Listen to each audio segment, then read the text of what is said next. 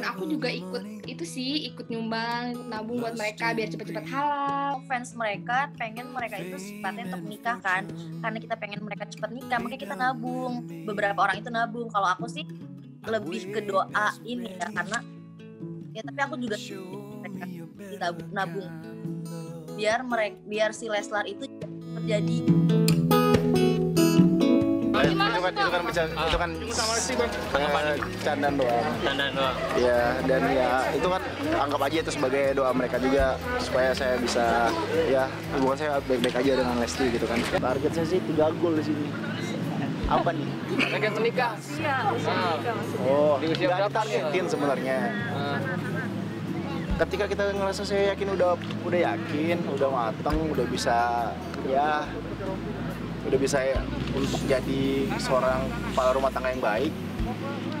Ya saya ayo saya pasti segerain. Cuma kan sekarang posisi kita untuk fans yang terlalu buru-buruin itu kan klise sih sebenarnya. Karena kita baru kenal posisinya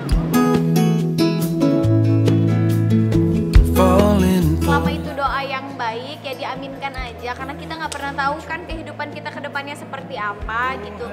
Jadi untuk sementara ini kita bersilaturahmi berteman baik aja dulu. Enggak kayak- Didi Didi waktu itu ini kayak sedikasinya Allah iya Didi jawab gitu sedikasih kalau memang Aduh, kok sama? kalau Didi tuh Didi selalu bilang gini kalau memang jodohnya di, udah dekat alhamdulillah. Tapi kalau belum Senang ya nggak apa-apa. Gitu ya deket aja sekarang kan. Kita deketan ya walaupun walaupun nggak iya.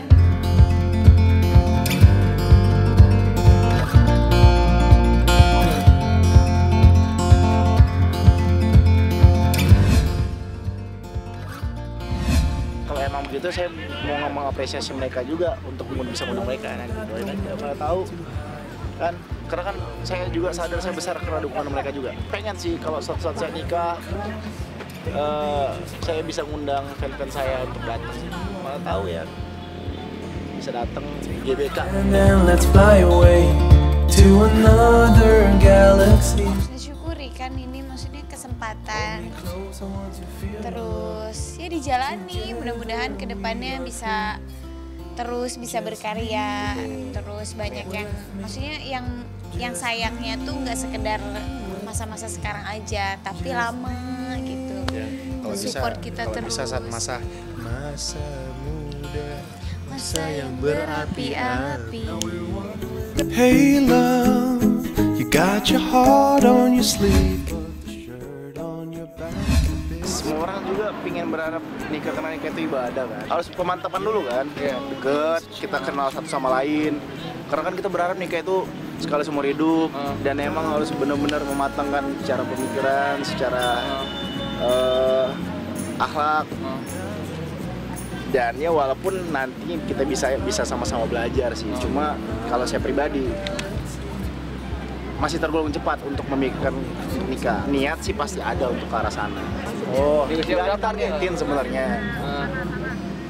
ketika kita ngerasa saya yakin udah udah yakin udah matang udah bisa ya udah bisa ya, untuk jadi seorang kepala rumah tangga yang baik ya saya ayo.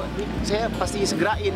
Ya kalau jodohnya dikasihnya cepat alhamdulillah. Tapi kalau enggak ya dede mah diserahin aja semuanya. Tapi target mah ya ditargetin kalau buat diri sendiri mah pasti ada. Cuman kalau buat dede tuh nggak mau terlalu ngoyo yang eh, balance aja sih gitu.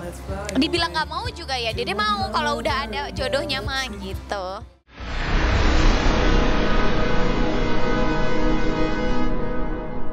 Jadi jangan lupa untuk subscribe Cumi Cumi.